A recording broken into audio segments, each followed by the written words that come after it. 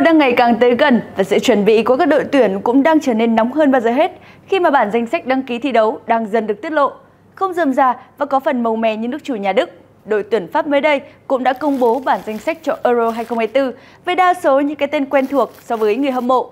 Nhưng tất nhiên không thể thiếu đi những bất ngờ trong danh sách này, hay nói cách khác là một vụ nổ như truyền thông Pháp đã đưa tin về bản danh sách của Didier Deschamps.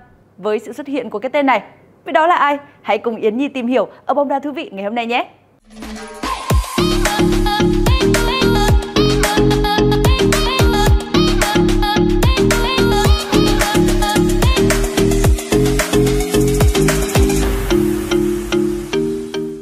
Sẽ thật khó để bạn có thể tìm ra bất kỳ đội tuyển nào có lực lượng đồng đều và đẳng cấp như những gì mà Pháp có đúng không nào? Hàng thủ thì Saliba, Theo Hernandez, tiền vệ có Chouameni, Camavinga, rồi Mbappe, Griezmann đồ ở hàng công. Nhưng bất ngờ ở chỗ, chúng ta đã thấy được sự xuất hiện của cả N'Golo Kante ở danh sách của The Blues. Cũng ảo phết đấy chứ nhỉ? Nếu bạn là huấn luyện viên Didier Deschamps, bạn có để một tiền vệ không chơi đội tuyển Pháp 2 năm như N'Golo Kante góp mặt ở đội hình đội tuyển Pháp không? Khi Didier Deschamps công bố hôm thứ năm sẽ có mặt tại Euro 2024, ai cũng ngỡ ngàng với cái tên Kante. Trước đó, Kante rời Chelsea mùa hè năm ngoái để gia nhập Ả Rập Saudi Al Ittihad và đã không thi đấu cho đội tuyển Pháp kể từ tháng 6 năm 2022. Trong danh sách đội hình đội tuyển Pháp cũng không thiếu những sự bất ngờ, nhưng là những bất ngờ đã được dự báo từ trước. Các cầu thủ trẻ Warren Zaire Emery và Bradley Barcola cũng có mặt trong đội tuyển sau những mùa giải thành công tại Ligue 1 với đương kim vô địch Paris Saint-Germain. Đặc biệt, cầu thủ chạy cánh Barcola, 21 tuổi, cầu thủ duy nhất có lần đầu tiên được khoác đội tuyển Pháp tại Euro này vì đã có được thành tích ấn tượng trong mùa giải gần đây. Gây ấn tượng đặc biệt với màn trình diễn ở vòng loại trực tiếp Champions League của PSG trước Real Sociedad và Barcelona. Cũng quay trở lại thi đấu cho gà trống gồ lòa là hậu vệ Ferland Mendy của Real Madrid. Tuy đã không chơi cho Pháp kể từ tháng 9 năm 2022, nhưng anh đã ra sân thường xuyên trong mùa giải này cho câu lạc bộ đang hoàn tất cú đúp vô địch La Liga Champions League. Ngôi sao tấn công Kylian Mbappe cũng có mặt trong đội hình, cùng với Anthony Griezmann, Oliver Giroud và hậu vệ William Saliba của Arsenal. Mbappe chắc chắn sẽ bước vào Euro với phong độ tốt nhất, bất chấp tương lai bất định về nơi anh sẽ chơi bóng cho mùa giải tới sau khi xác nhận sẽ rời PSG tại mùa hè này. Ngoài ra, sự vắng mặt đáng tiếc nhất là của Lucas Hernandez của PSG sau khi anh bị chấn thương đầu gối trước. Còn lại, những cầu thủ đều đang dính chấn thương như Chouameni, người đang bỏ ngỏ khả năng tham dự trận chung kết Champions League vào tháng 6. Mai Magnan hay Kingsley Coman sẽ đều có mặt trong đội hình. Mọi người có còn nhớ lần cuối được nghe tên Kante là khi nào không? Tiết lộ nhé, Kante đã đội mũ trùm đầu được gần một năm nay rồi.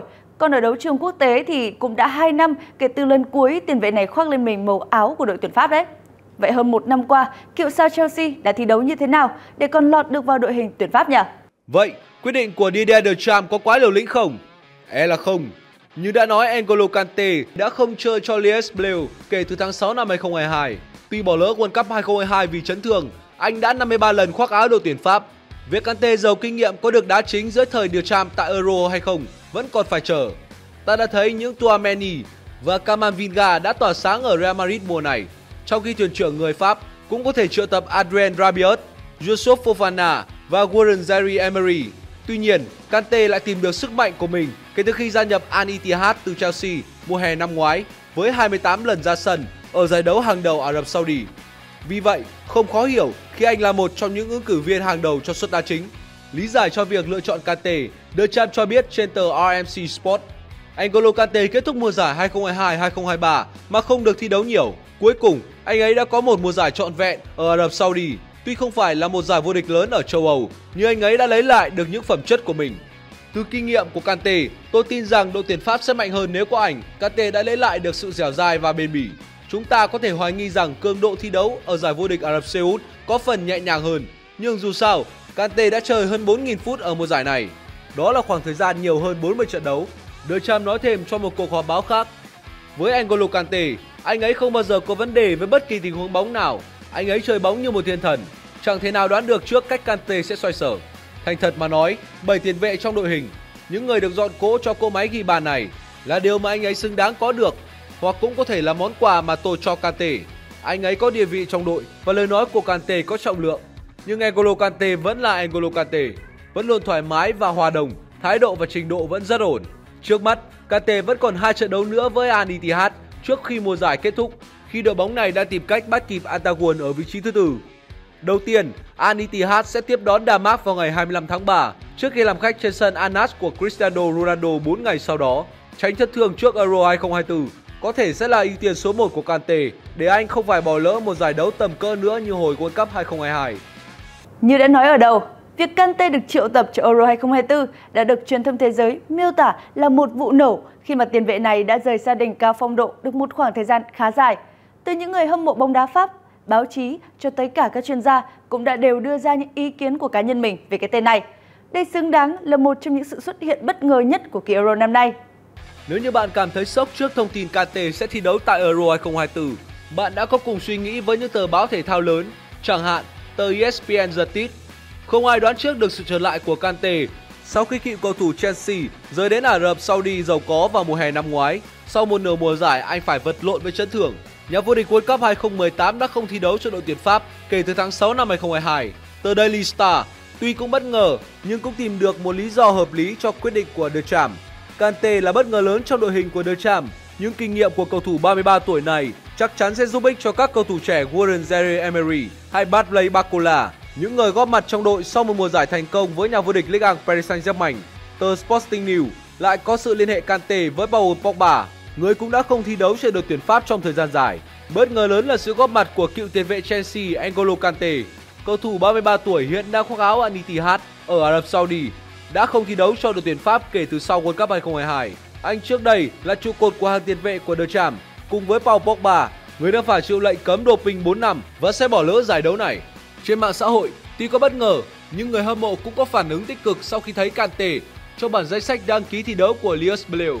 Một người dùng Reddit tên Burrito bình luận: Hãy tưởng tượng bạn là một tiền vệ trung tâm thi đấu trong trận gặp đội tuyển Pháp và sau phút 60 bạn mệt mỏi nhưng đó là một trận đấu cần não và một Kante hừng hực bước vào sân từ băng ghế dự bị. Còn gì nữa đâu mà khóc với sầu.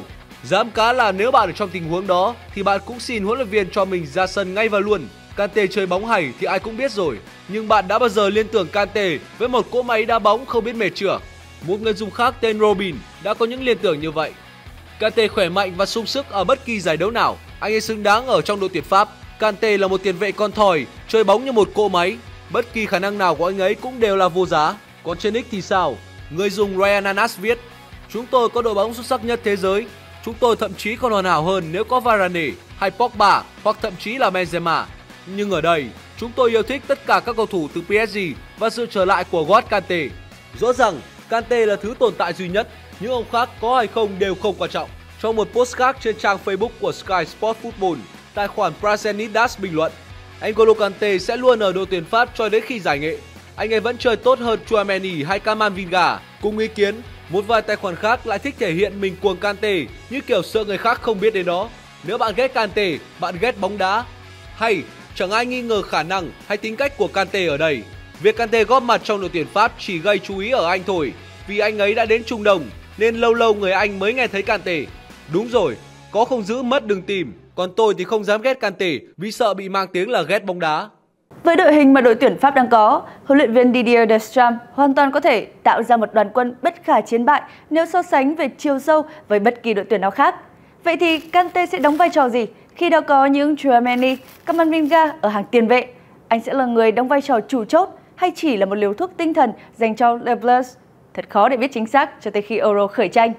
Và đó chính là những gì mà mình muốn chia sẻ ở bóng đá thú vị ngày hôm nay. Cảm ơn mọi người đã quan tâm theo dõi. Hẹn gặp lại ở chương trình ngày mai nhé!